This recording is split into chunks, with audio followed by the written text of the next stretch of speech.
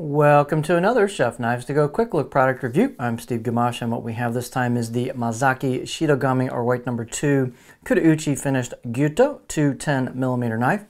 So this line of knives has a core cutting edge uh, steel. The hard steel is Shirogami white paper number 2 reactive high carbon steel.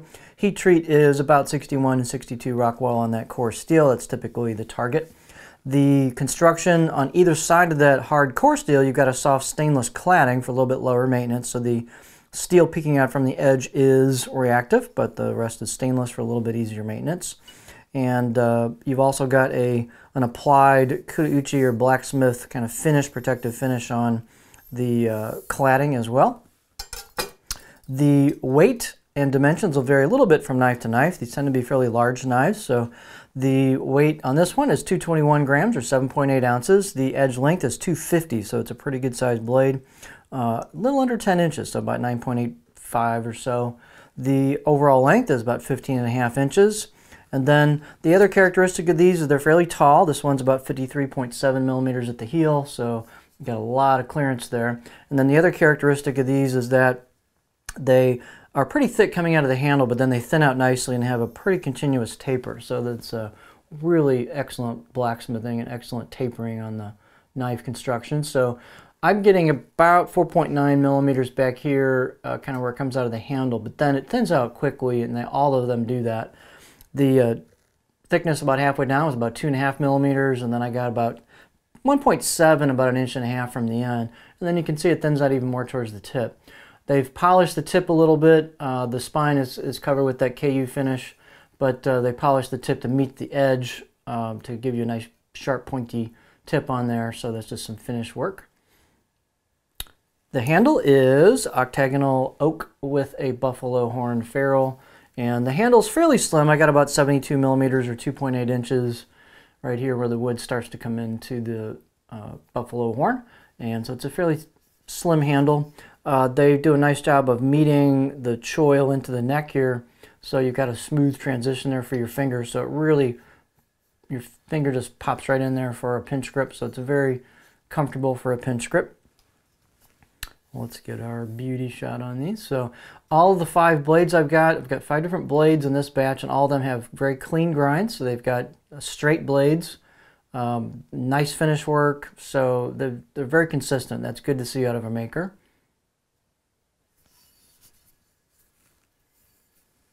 So here's the left side of the blade as you would hold it.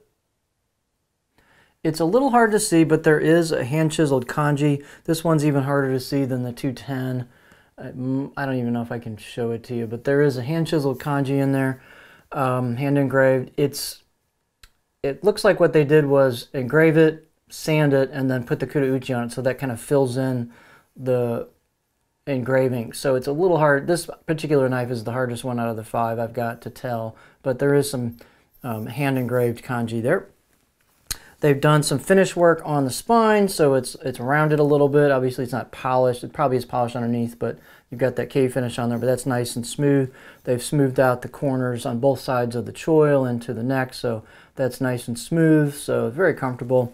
The out-of-the-box edge, I'm giving these about a 5 out of 10. The reason is they're pretty sharp. However, what they do is they grind it right down to the edge. It really isn't a secondary edge bevel on there. And I'm thinking you're going to want to put your own edge on these and put a secondary bevel on there just to kind of clean it up a little bit and reinforce that edge. Uh, a few of them have a little bit of a spot here and there. This one doesn't, but a couple of them did. I went ahead and put an edge on the 210 and the steel sharpened up beautifully. Uh, super easy to sharpen, takes a nice edge.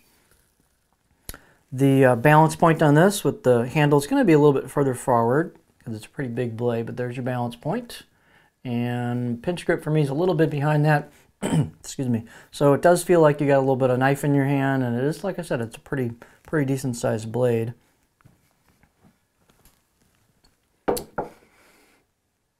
The profile looks like this. And every knife can be just a little bit different, but their profiles have been pretty similar between the blades, so that's, again, good to see. You kind of know what you're going to get to a degree. So you've got just a little bit of a flat at the back. Kind of rolls into it. Uh, not a huge flat spot, but there on this particular one, you could take a little bit of that out and flatten it out a little bit more if you wanted to.